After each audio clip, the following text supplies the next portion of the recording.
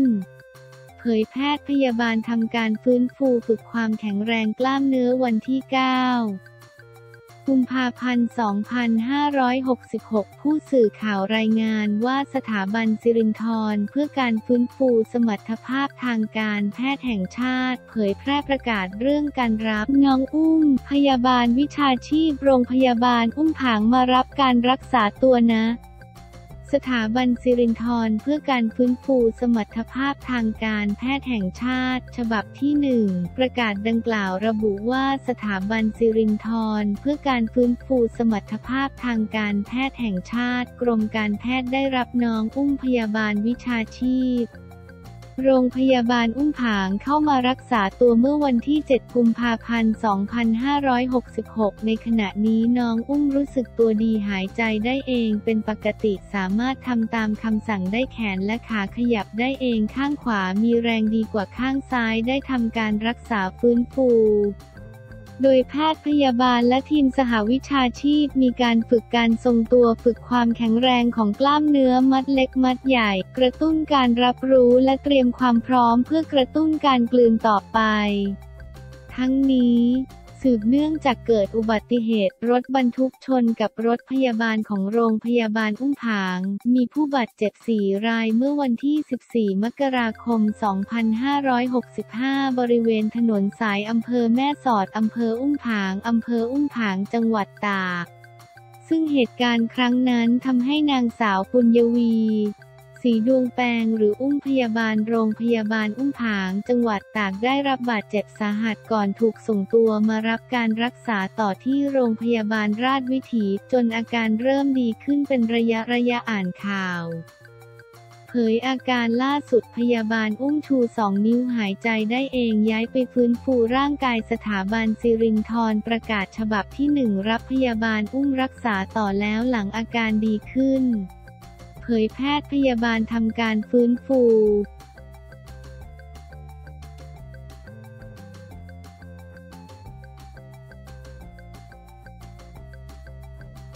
ไม่จบ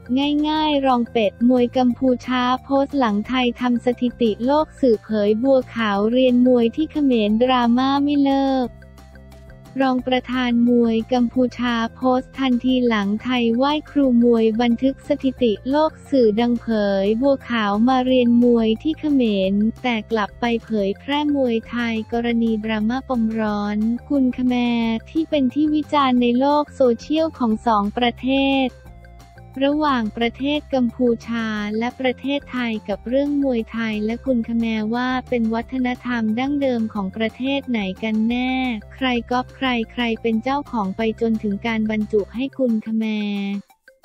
ศิลปะการป้องกันตัวของประเทศกัมพูชาลงใน list แข่งขัน กีฬาซีเกมส์ 2023 ครั้งที่ 32 จัดขึ้นที่กรุงพนมเปญประเทศกัมพูชา ต่อมารองประธานสหพันธ์มวยกัมพูชาประกาศจะให้ทั้งบ้านทั้งรถและเงินสด 10 ล้าน กับนักมวยเขมรที่สามารถคว่ำบัวขาวได้รวมทั้งเน็ตไอดอลสาวชาวกัมพูชาที่ออกมาระบุว่าถ้าใครชนะบัวขาวได้เธอจะแต่งงานด้วย นอกจากนี้เมื่อวันที่ 6 กุมภาพันธ์ที่ผ่านมาซึ่งเป็นวันมวยไทย รัฐบาลไทย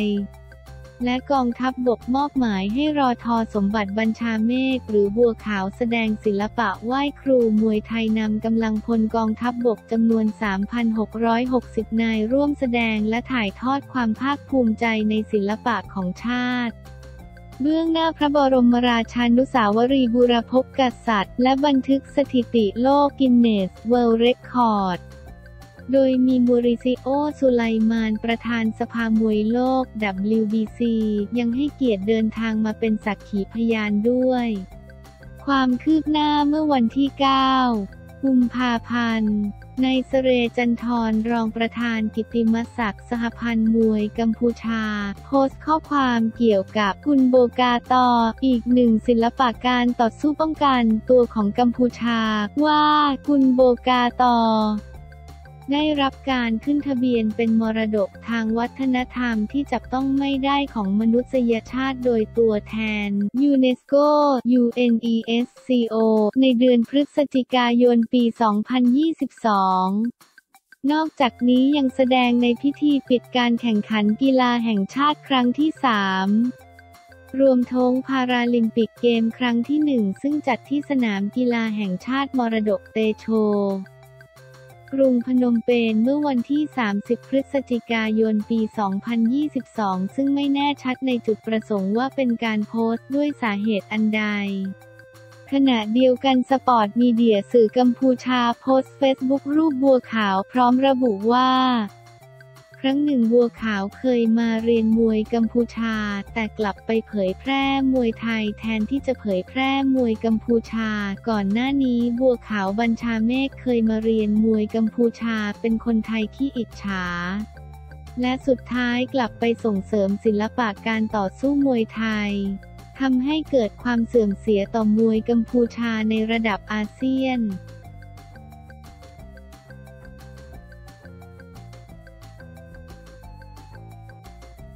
สหพันธ์มวยไทยยันหกชาติไม่ร่วมกุนขแมร์ฝืนแข่งโดนโทษอย่างน้อยสองปีกุนขแมร์เมื่อวันที่ 9 กุมภาพันธ์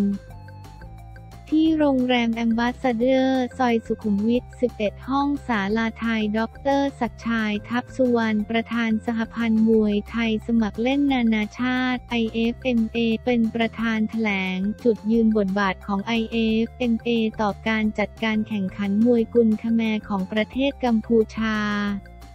ในกีฬาซีเกมครั้งที่ 32 กลางปีนี้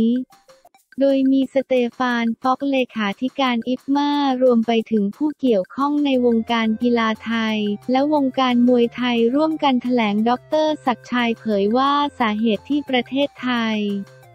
ไม่สามารถส่งนักกีฬาเข้าร่วมการแข่งขันกุนคาแมในซีเกมครั้งที่ 32 ได้ เพราะไม่เป็นไปตามระเบียบของสหพันธ์มวยไทยนานาชาติ เราไม่สามารถส่งนักกีฬามวยไทยไปแข่งขันกีฬาที่ไม่ใช่มวยไทยได้ซึ่งเรื่องนี้ได้แจ้งไปยังคณะกรรมการโอลิมปิกแห่งประเทศไทยเรียบร้อยแล้ว และทางคณะกรรมการโอลิมปิกแห่งประเทศไทยก็เข้าใจ และยืนยันจะไม่ส่งนักกีฬาเข้าร่วมแข่งขันกุนขแมร์เนื่องจากไทยไม่มีสมาคมกีฬากุนขแมร์ IFMA ได้ทำหนังสือแจ้งไปยังหกชาติที่เป็นสมาชิกเรียบร้อยประกอบด้วยมาเลเซีย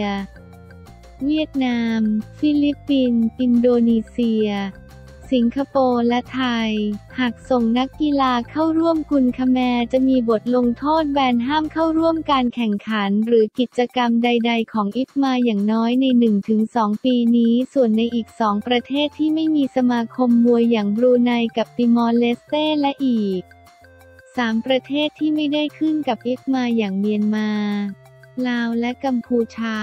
ต้องรอดูจุดยืนของพวกเขาอีกครั้ง ซึ่งตามระเบียบนั้นจะต้องมีชาติเข้าร่วมอย่างน้อยสี่ชาติจึงจะจัดแข่งขันได้แต่เป็นที่แน่นอนแล้วว่าทั้ง 6 ประเทศที่อยู่กับอิฟมา